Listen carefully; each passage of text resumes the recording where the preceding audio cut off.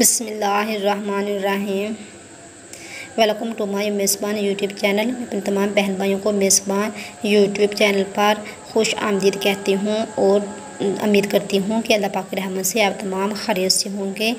اور میں آج آپ کے ساتھ سفٹاف ٹری یعنی مال کنگنی کے بینیفٹ اس کے فائدے اور اس کا استعمال شیئر کروں گی۔ تو آپ کے لیے یہ ویڈیو بہت یوزفل رہے گی، اس لیے آپ اس ویڈیو کو اینڈ تک واچ کیجیے گا۔ اسے درمیان میں چھوڑ کر مت جائیے گا، کیونکہ اگر آپ اسے درمیان میں سکپ کر دیں گے تو اس کے فائدے، اس کے بینیفٹ اور اس کا استعمال آپ سیکھ نہ پائیں گے۔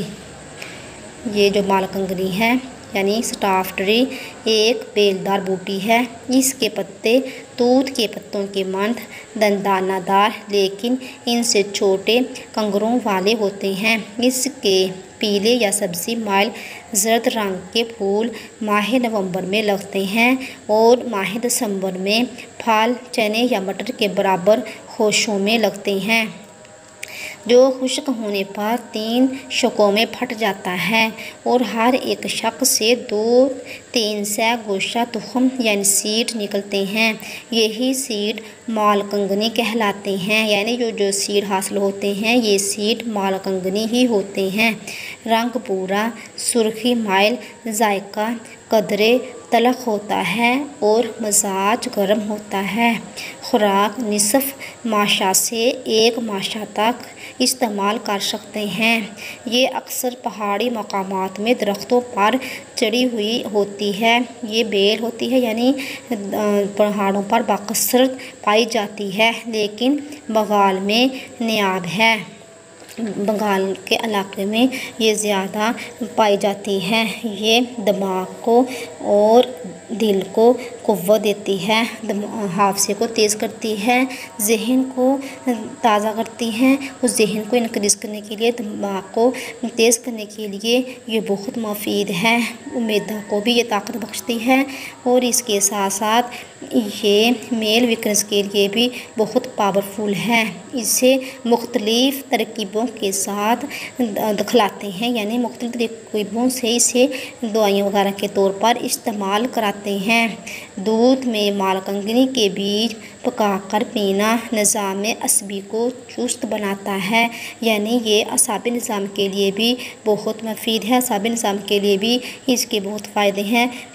اعصابی کمزوری کو دور کرنے کے لیے اعصابی نظام کو مضبوط بنانے کے لیے اعصابی نظام کو سٹرونگ بنانے کے لیے اور اعصابی نظام کو چست بنانے کے لیے بھی اسے یوز کیا جاتا ہے۔ ان بیجوں میں سے ایک سرخ رنگ کا تیل نکلتا ہے یعنی جو بیجوں سے تیل حاصل ہوتا ہے، اس کا کلر ریڈ ہوتا ہے۔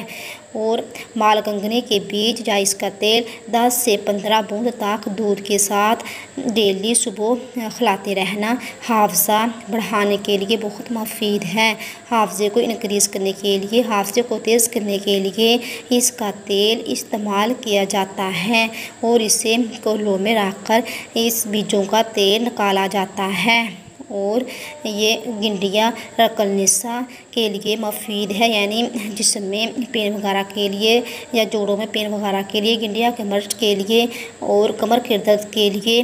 یہ بہت یوزفل ہے۔ اس کے علاوہ یہ فالج کے لیے بھی مفید ہے۔ فالج کے پرابلم کو دور کرنے کے لیے فالج پیشنٹ بھی اسے استعمال کرتے ہیں۔ جسم کے کسی بھی حصہ کے بحث ہو جانے کی صورت میں اس تیل کی مالش بڑی مفید ہے۔ یعنی جسم کے کسی حصے پر خدا نہ کرے، اگر فالج فالج ہو جائے، فالج کے مسئلے کے دور کرنے کے لیے، اس بیماری سے نجات حاصل کرنے کے لیے، اس سے چھٹکارا پانے کے لیے اس کے تیل کی مالش بہت یوزفل ہے۔ اس کے تیل کی مالش کی جاتی ہے۔ اس کو ہتھیلی پر رکھ کر ملنا بینائی کو تیز کرتا ہے۔ یعنی یہ تیل اگر ہم اپنی ہتھیلی پر رکھ کر اس کا مساج کریں گے، تو یہ مساج کرنا ہماری نظر کو تیز کرے گا۔ ہم ہاتھوں پر مساج کریں گے تو اس سے ہماری نظر تیز ہوگی، ہماری کمزور بینائی دور ہو جائے گی۔ تو اس کے بہت فائدے ہیں، اسے ہمیں ضرور یوز کرنا چاہیے۔ تو میں نے آپ کے ساتھ مالکنگنی یعنی سٹاف ٹری کے بینیفٹس کے فائدے اس کا استعمال میں نے آپ کے ساتھ شیئر کیا۔ تو اگر آپ کو یہ میری انفارمیٹیو ویڈیو اچھی لگی تو اسے زیادہ سے زیادہ شیئر کیجیے گا اور میرے ویڈیو کو جلدی سے لائک بھی کر دیں۔ اگر آپ نے ابھی تک میرے چینل کو سبسکرائب نہیں کیا تو پلیز میرے چینل کو جلدی سے سبسکرائب بھی کر دیں۔ تو اپنا بہت سا خیال رکھنا ملتے ہیں نیکسٹ ویڈیو میں۔ تب تک کے لیے مجھے دیجیے اجازت، اپنا بھی خیال رکھیے، اور دوسروں کا بھی خیال رکھنا۔ خود بھی خوش رہیں اور دوسروں کو بھی خوش رکھیں۔ خدا حافظ۔